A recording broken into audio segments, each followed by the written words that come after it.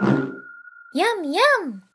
Floyd here with a quick tip for navigating networks in Houdini. To quickly select the previous or next node in the current chain, press page up or page down on the keyboard. Use these handy shortcuts to reduce screen travel when navigating networks. Oh, look at the time.